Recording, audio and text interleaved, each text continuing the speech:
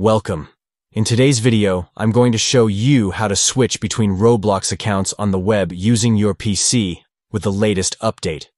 Whether you're managing different profiles for gaming, friends, or even testing out new features, it's simple to switch between accounts. Let's dive right in. First, open your web browser and go to roblox.com. If you're already logged into an account, that's great, we'll show you how to switch to another one without having to log out.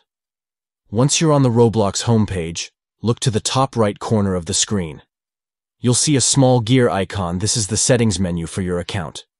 Click on the gear icon to open a drop-down menu. In this menu, you'll find the option Switch Accounts. Click on Switch Accounts, and this will bring up a new screen where you can manage your accounts. Now, you'll see a list of accounts that are linked to your device.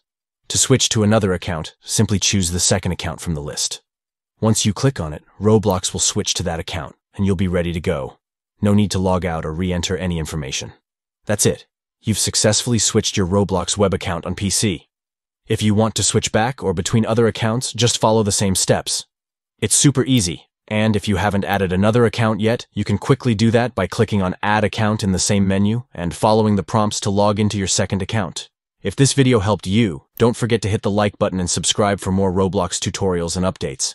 Thanks for watching, and I'll see you in the next video.